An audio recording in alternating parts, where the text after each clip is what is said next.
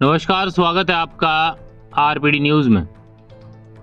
पुराने संसद भवन में नए में शिफ्ट होने से पहले सेंट्रल हॉल में आयोजित कार्यक्रम के दौरान प्रधानमंत्री नरेंद्र मोदी ने लोकसभा और राज्यसभा अध्यक्ष के सामने बड़ा प्रस्ताव रखा है। संसद के विशेष सत्र के दूसरे दिन संसद भवन के ऐतिहासिक सेंट्रल हॉल में आयोजित कार्यक्रम के दौरान प्रधानमंत्री नरेंद्र मोदी ने इस पूरी पुरानी इमारत को लेकर भी अपना प्लान बता दिया है, जिन्होंने लोकसभा स्पीकर और राज्यसभा के अध्यक्ष जगदीप धनखड़ से निवेदन करते हुए कहा कि वह विचार करके फैसला करें कि पुराने संसद भवन को संविधान संसद के रूप में जाना जाए, जो कि नई पीढ़ी के लिए एक तोहफा हो।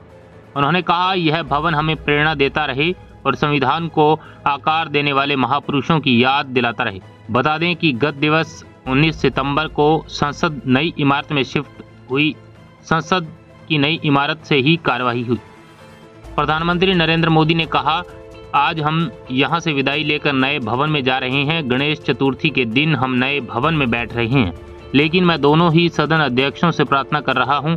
आशा है कि आप दोनों उस विचार पर मंथन करके निर्णय ज़रूर करिए। मेरा सुझाव है कि जब हम नए सदन में जा रहे हैं, तब इसकी गरिमा कभी भी कम नहीं होनी चाहिए।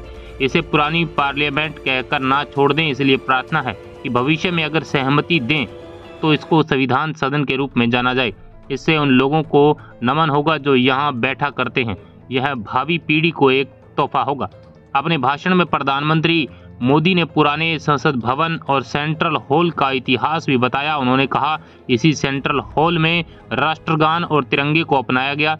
उन्नीस सौ बावन के बाद दुनिया के करीब इकतालीस राष्ट्र अध्यक्षों ने हमारे सांसदों को संबोधित किया है।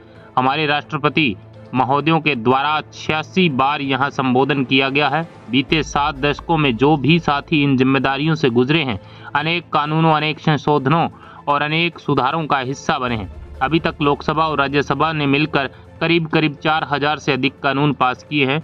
कभी ज़रूरत पड़ी तो ज्वाइंट सेशन से भी कानून बनाए गए। दहेज रोकथाम, कानून, बैंकिंग, सर्विस कमीशन बिल हो, आतंक से लड़ने के लिए कानून हो, ये इसी गृह में संयुक्त सत्र में पास किए गए। इसी संसद में मुस्लिम बहन बेटियों को न्याय की जो प्रतीक्षा थी शाह बानो केस के कारण गाड़ी उल्टी पटरी पर चल गई थी।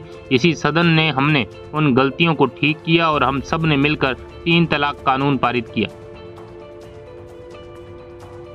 ऐसी अपडेट पाने के लिए चैनल को सब्सक्राइब कर बेल आइकन प्रेस करें ताकि तमाम बड़ी खबरों का नोटिफिकेशन आपको मिलता रहे।